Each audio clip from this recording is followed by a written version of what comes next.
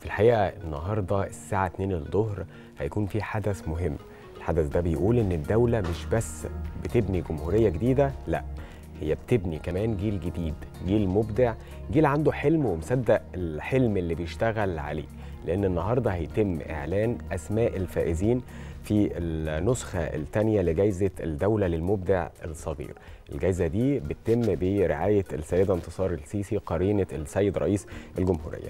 أهمية الجلسة أهمية يعني آه هذه آه يعني الحدث ده تحديدا إيه أهميته؟ أهميته جاية من أكتر من سبب. اولا إن دي جايزة جايزه دوله مش مسابقة عادية. يعني زيها زي جوائز الدولة التقديرية والتشجيعية وده ليه معنى مهم قوي وهو إن الدولة مهتمة بالطفل على اعتبار إن ده المستقبل اللي لازم نراعيه علشان لما يكبر يكون عنده المعرفة عنده الإبداع عنده العلم الكافي كمان علشان يساعد نفسه ويساعد بلده في التطور والتنمية. فمهم جدا مسألة اللي إحنا نرعى ونهتم بالطفل نرعى ونهتم بالنشء الجديد لأن هو ده الجيل الجديد اللي هيقدر اللي هو يعمر ويبني البلد كمان وكمان يعني. ده حقيقي كمان الحلو في الجائزة دي إن هي مهتمية وبتفتح الباب للأطفال من خمس سنين لحد 18 سنة. يعني هم مش مهتمين بالصغيرين بس أو اللي بيكبروا شوية لأ هم واخدين يعني سن واسع شوية من 5 ل 18 سنة. وبتهتم كمان بمجالات كتيرة جدا.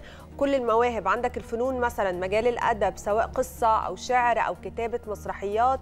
بنتكلم كمان في الفنون تاني زي الرسم أو الموسيقى أو الغنى.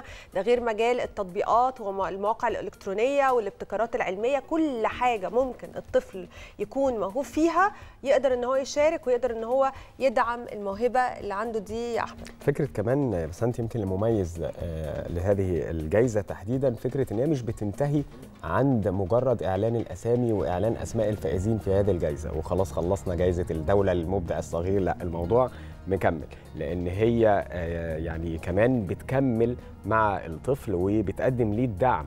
الدعم وبترعاه وبتوصل للجهات أو بتوصله كمان للجهات البحثية اللي بتقدر اللي هي تساعده في الابتكار آه وتدعم كمان موهبته الفنية والثقافية أيا ما كانت الموهبة اللي تم الإعلان عنها وده الهدف الأساسي من الجائزة هو الاكتشاف والكشف المبكر للمواهب الصغيرة وتحفيز طاقتهم الإبداعية في كل المجالات. زي ما أنت ذكرتي يمكن أغلب هذه المجالات تحديدا يا طبعا جميل وحلو قوي إن الدولة يبقى عندها الدعم ده للأطفال. الصغيرين والجائزه دي بتعكس قد إيه الدولة في الحقيقة يعني مهتمية بالطفل وبحقوقه وباهتماماته مش بس الإبداعية لكن كمان حقوقه التعليمية والمعرفية. حقه في حياة وبيئة بتوفر ليه كل الأجواء الصحية والسليمة اللي تقدر إن هي تساعده في إنه مش بس يبني الموهبة دي لا كمان ينميها ويكبرها ويطورها كل يوم. في الحقيقة المسابقات دي بتبقى مهمة جدا.